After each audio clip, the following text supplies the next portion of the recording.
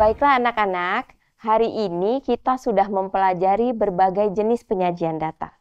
Mulai dari tabel, diagram garis, diagram batang, hingga diagram lingkaran.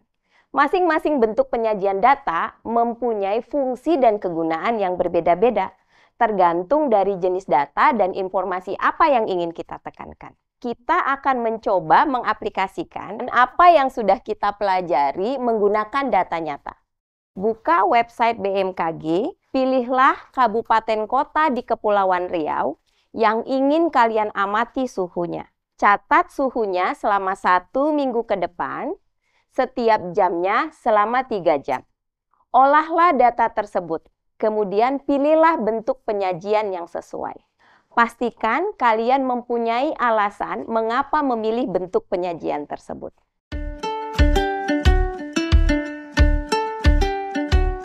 Terkadang penguatan numerasi hanya fokus pada hasil akhir, sehingga proses berpikir murid terabaikan. Hal ini bisa menyebabkan miskonsepsi. Oleh karenanya, eksplorasi numerasi yang sudah kontekstual dan menarik ini perlu didukung dengan diskusi yang lebih dalam dan fokus pada proses berpikir. Membangun keterlibatan murid melalui dialog aktif adalah langkah krusial dalam proses belajar. Oleh karenanya, setiap murid perlu diberikan ruang yang nyaman untuk mengungkapkan proses berpikirnya. Melalui bincang numerasi, semua murid dapat mengikuti proses bernalar, di mana guru memunculkan proses berpikir murid yang tadinya tersembunyi menjadi terlihat, sehingga jika ada miskonsepsi atau kesalahan dalam pemahaman dapat segera diperbaiki.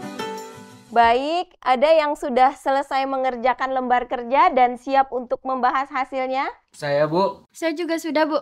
Bagus. Untuk tugas yang pertama, bagaimana kalian memilih bentuk penyajian datanya? Saya menggunakan diagram garis, Bu, karena suhu itu berubah seiring waktu. Ada yang memilih bentuk lain? Saya, Bu. Ya, Sani? Saya pilih diagram batang, Bu, karena lebih jelas untuk perbandingan harian. Saya pilih diagram lingkaran, Bu, karena itu paling menarik untuk semua data. Jadi, menurut kamu, semua data bisa disajikan dengan diagram lingkaran ya? Apakah benar demikian? Bagaimana menurut yang lain? Saya, Bu.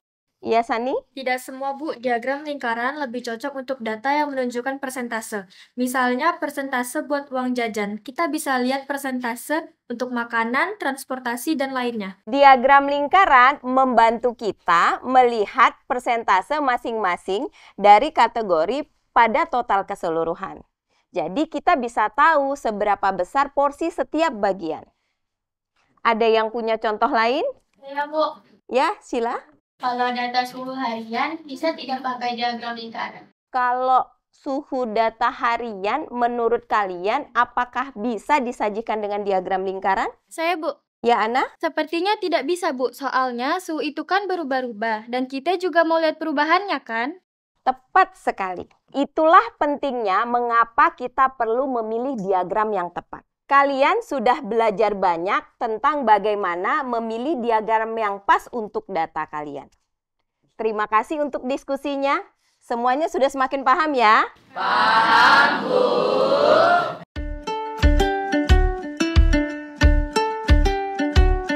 Ibu akan menampilkan data curah hujan di Kota Malang yang terjadi pada tahun 2017 hingga tahun 2023. Sebelum kita mulai diskusi, nanti ketika kita melaksanakan diskusi, semua kita saling menghargai ya. Silakan duduk berpasangan ya.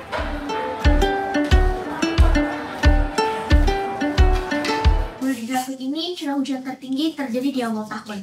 Aku pikir ini mungkin menunjukkan bahwa musim hujan dimulai pada bulan-bulan tersebut. Bagaimana menurutmu? Ada sedikit peningkatan lagi di awal-awal bulan akhir tahun. Dan itu mungkin menunjukkan bahwa ada dua periode hujan yang terjadi dalam tahun. Oh, aku tidak begitu memperhatikan peningkatan di akhir tahun. Aku lebih fokus pada curah hujan tinggi di awal tahun dan penurunan yang terjadi di pertengahan tahun. Mungkin ada pola yang perlu kita pelajari lebih lanjut, itu masalah Baik, tidak ada lagi yang uh, melakukan diskusi. Nah, sekarang kita dengarkan dua orang teman kita akan membacakan hasil diskusi mereka, hasil bincang mereka, uh, yaitu Santa dengan Putri. Silakan Santa dan Putri.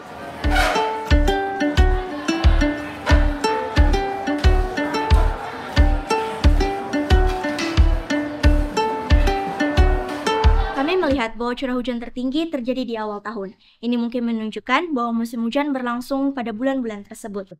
Kami juga mencatat bahwa curah hujan menurun pada pertengahan tahun. Pola apa yang kalian temukan dari data untuk memprediksi tahun berikutnya? Kami juga memperhatikan bahwa dari data tahun-tahun sebelumnya, curah hujan selalu mulai meningkat di bulan Oktober dan mencapai puncaknya di bulan Januari dan Februari. Jadi kami berpikir bahwa musim hujan mungkin akan dimulai di akhir tahun seperti biasanya.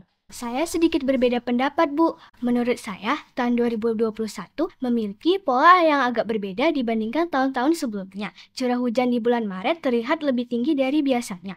Mungkin karena adanya fenomena cuaca tertentu saya setuju dengan apa yang dikatakan oleh Putri dan juga Santa, di mana dari bulan November sampai dengan bulan Februari itu mengalami penaikan data yang sangat signifikan dan dimulai dari bulan Juni datanya itu semakin lama semakin menurun apalagi di bulan Agustus yang tidak ada data curah hujannya sama sekali atau bisa kita bilang sebagai musim kemarau yang berkepanjangan.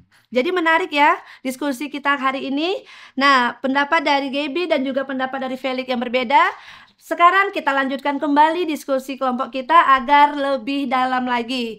Untuk saat ini kita berikan aplaus kepada kita semuanya.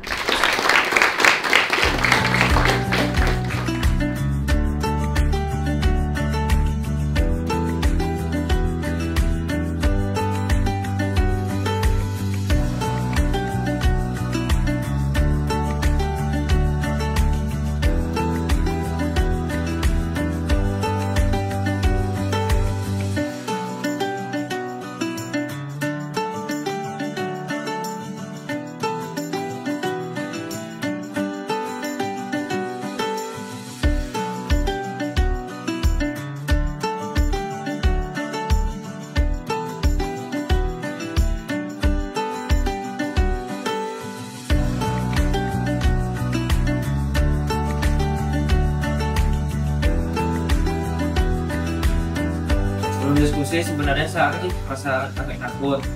Tapi setelah guru meminta kami itu berdiskusi dengan teman, saya merasa lebih nyaman untuk berbicara.